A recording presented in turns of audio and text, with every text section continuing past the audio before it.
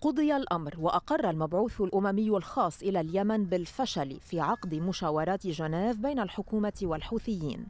استلزم الأمر ثلاثة أيام للإعلان رسميا عن هذه النتيجة. لم تستطع الأمم المتحدة تذليل العقبات التي حالت دون وصول الوفد الحوثي إلى جنيف رغم تحمس الجماعة لذلك وفق ما أكد مارتن جريفيث.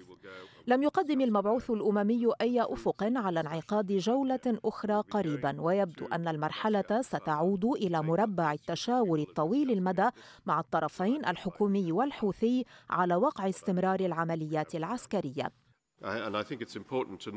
من المهم الإشارة إلى أن أنصار الله أرادوا أن يكونوا هنا وكانت هناك خيبة أمل لأنهم لم يأتوا. عقدنا مناقشات مكثفة مع ممثليهم في صنعاء ومسقط الأسبوع الماضي وهم حريصون على السير في هذه العملية.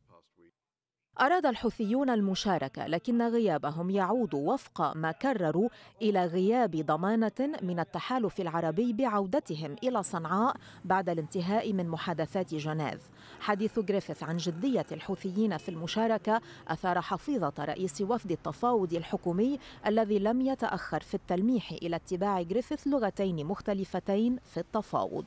إن تصريحات المبعوث الخاص التي أدلى بها للتو كانت مع الأسف تعمل على ترضية الجانب الانقلابي والتماس جميع الأعذار له فيما كانت تصريحاته تصريحات السيد مارتن جريفيتس معنا ومع بقية الشركاء تعبر عن عدم الرضا لهذا السلوك غير المبرر. في الأيام المقبلة قد يعود جريفيث إلى صنعاء ومسقط لكن من أجل ماذا؟